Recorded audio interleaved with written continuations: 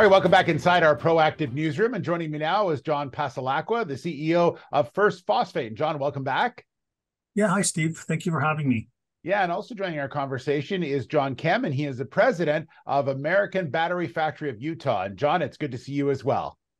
Thanks, Steve. Great to be part of this. Yeah, so excited to learn more about your company, John. We'll get to that in just a second, but let's start with the first, John. And let's talk a little bit about uh, the announcement that was made at the end of last week, a big announcement from the company. John, uh, tell me about this partnership. Yeah, so it's an MOU between the two companies, uh, John's company, American Battery Factory, and uh, First Phosphate. Um, and basically, you know, we're moving towards uh, localizing a certain amount of production of uh, LFP batteries into North America. John, May, can you tell me a bit more about American Battery Factory and, and, and what it is the company does? Sure. Yeah. People talk a lot about batteries, you know, trying to insource them back into North America, United States, Canada, Mexico. Uh, American Battery Factory is trying to do the earlier part.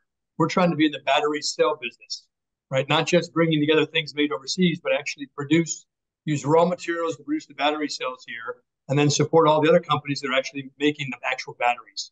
Uh, and so for us, the ability to to work with First Phosphate on getting the mineral components you know North American base is really powerful. Yeah, can you talk about about what drew you towards First Phosphate? You mentioned obviously getting this deal done is a big one, but obviously you had to had to like what they were doing, and and is that the reason why you wanted to back them this way? Well, absolutely. I think there's a there's a couple of natural parts. The first is being able to insource into North America means you take away risk of shipping problems, all those kind of things. You know, you can get the material and the reliability is better.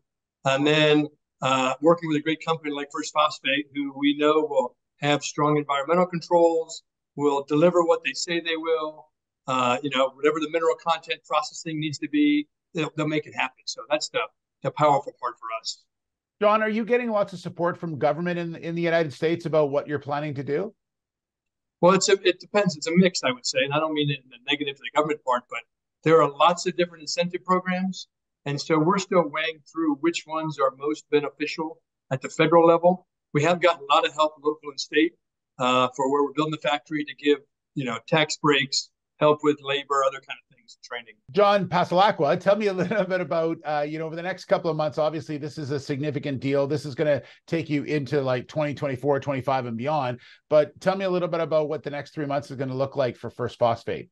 Yeah, so, so for First Phosphate uh, alone, uh, you know, obviously we're continuing with the development of our mineral properties in Saguenay-Lac-Saint-Jean, Quebec.